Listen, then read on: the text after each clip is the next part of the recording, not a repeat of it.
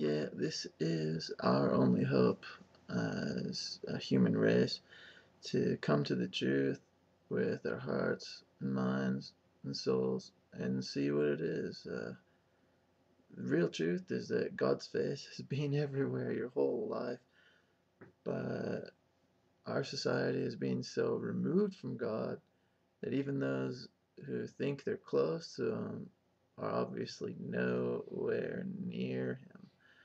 Uh, it's common practice nowadays to go to church, wherever church you go to, and just believe that that's enough. Uh, not even reading the Bible, what Jesus Christ says. But I stumbled upon this. Um, thank God, it so changed my life. When I was looking for a cure to the modern day Black Plague, which is killing so many of us, uh, it's the leading cause of death, according to Alex Jones, is suicide. Um, suicide obviously caused by depression, and I was depressed too because I didn't obey Jesus Christ whatsoever either. And, you know, I was just looking for a cure for that. And I thought, well, drugs ain't going to do it. So I'm going to obey Jesus Christ. And I know that He listens to people who obey Him. So I just started obeying Him. And then next thing you know, bam, I saw His face. And in that same instant, I was cured of all depression I felt like I wanted to feel, you know, like a boy, you know, like a clean boy that had never sinned before. So here I am, 10 years later.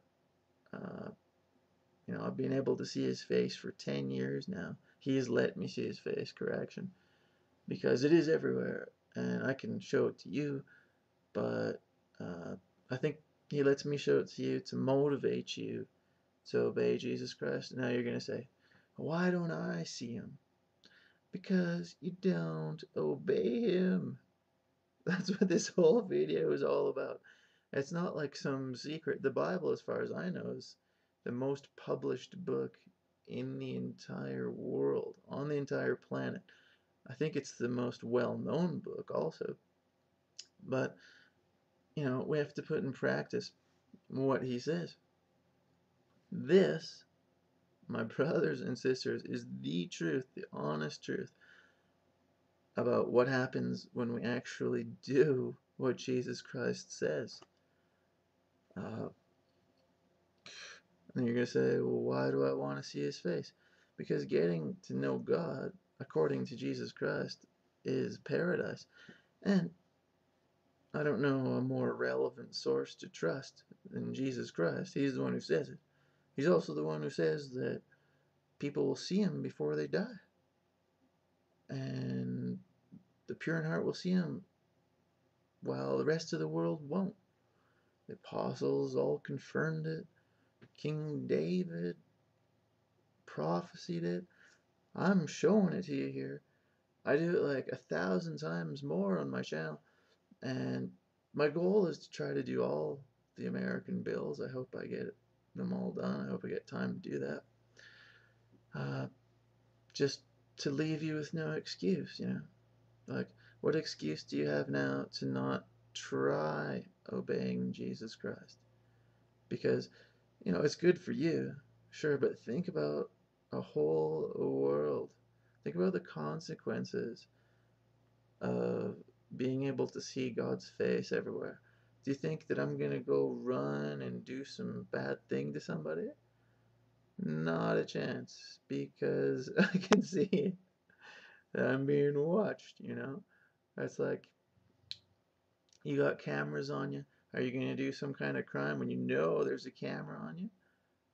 Not unless you're like a complete fool, right? and people see your face. Everybody knows who you are, seeing you do this bad thing on camera. It's the same, but times that by infinite, because God's punishment is infinite for the infidels. Infidels is a term used, as far as I know, to describe someone who does not obey Jesus Christ. You know, and that's the faith that's spread all around the world. And he prophesied that that the faith of you know the infidels, uh, untrue followers, people who, you know, I thought that I was his follower too. You know, I'm not getting on your case about it, but it's just so obvious, you know. You know very well that if you're not seeing him, you know that you do not obey Jesus Christ, all right? Uh, unless you're completely ignorant of what he says. You know, you might make excuses for yourself like, oh, well, this is just a little command that Jesus Christ says.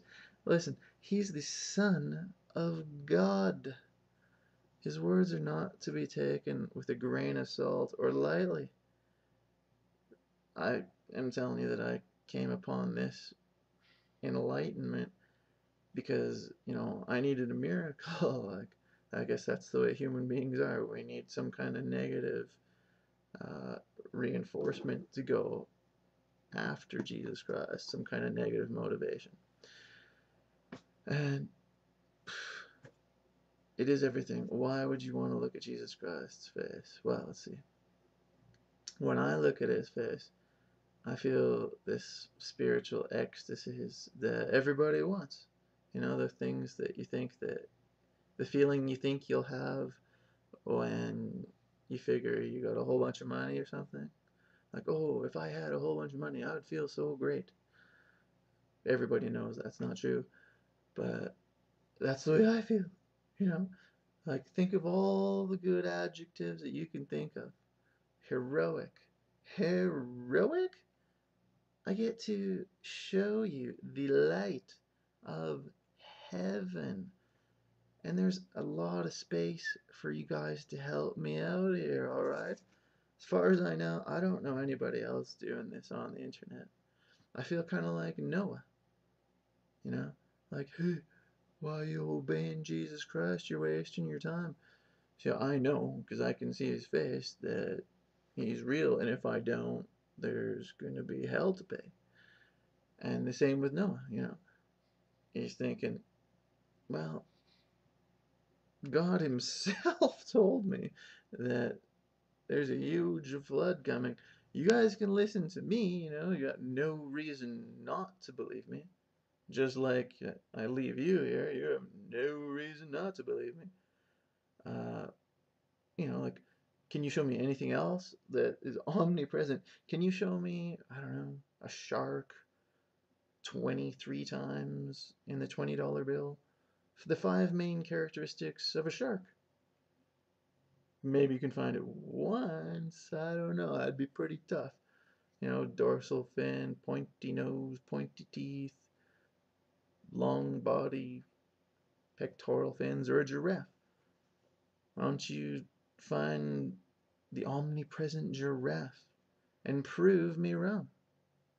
You know? There's no reason whatsoever for you not to believe this.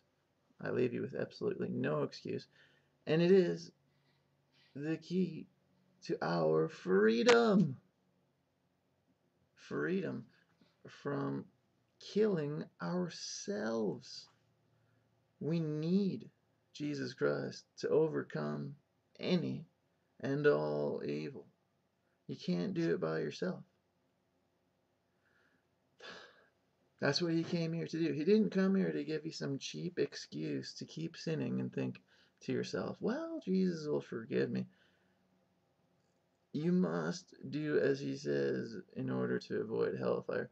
And, you know, there's so much misunderstanding, and I guess you could call them like false Jesuses that people teach that, you know, something so huge like this. Like, when we follow Jesus, we get to see his face everywhere, like omnipresent. You know, there's got to be some thick meddling in our doctrine, you know, as a human race.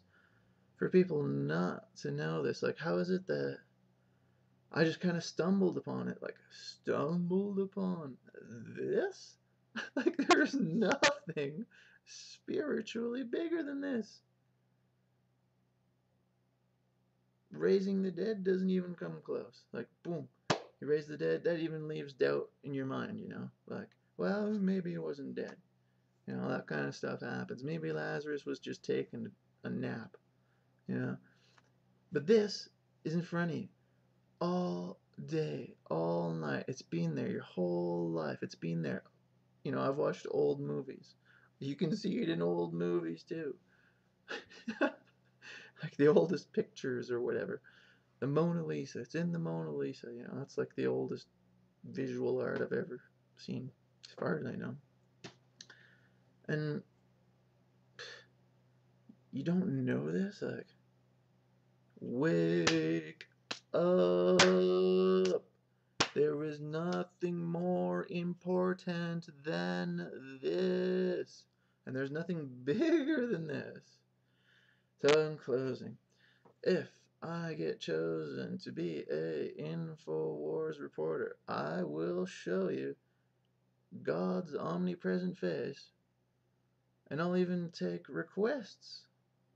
You know, maybe we could do like a month of places that symbolize liberty and other things, but I chose the American dollar because it's everywhere, right? So people can see it and use it like a pamphlet to show people the truth. Thank you very much.